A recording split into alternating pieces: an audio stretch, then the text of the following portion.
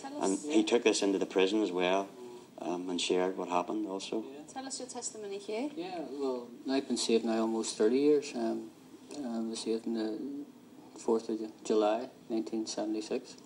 And um, what happened with my connection, how I got to know Martin was, I knew Martin through church, but how I got to know Martin and involved in the prison ministry was a number of years ago I had a very bad fall in work and um, had completely dislocated this whole shoulder.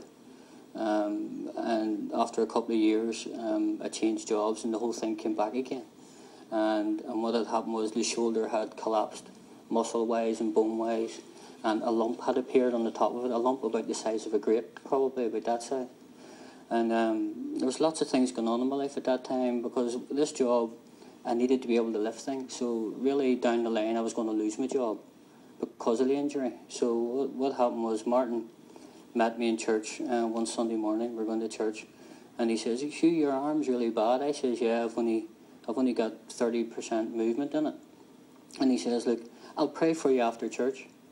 Well, I have to be honest with you Ellen, and say I wasn't in the frame of mind to be even to be prayed for.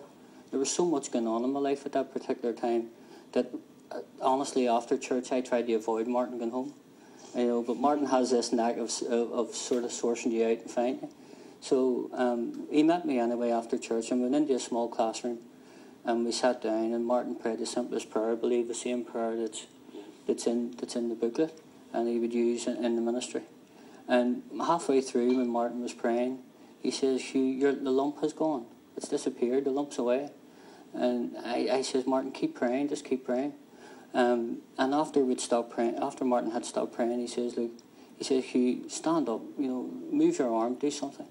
And I was able to move this arm wherever I wanted to put it. The whole thing had, was completely healed. God had completely healed the whole thing, um, which meant that you know bones had to realign themselves because the X-rays in the hospital showed that the bones were all out of shape and that there was muscle torn away. So that all had to be put right, and that was all put right in an instant. You know, just by the grace of God. You know, so but not only did that was it a tremendous healing you know, of of my shoulder, but it safeguarded my job. It took all that pressure away, you know, from the whole family of of losing the, the whole job. So um, that was really, I mean, you could talk for so long about all this, this shoulder, but um, that was really it in a nutshell.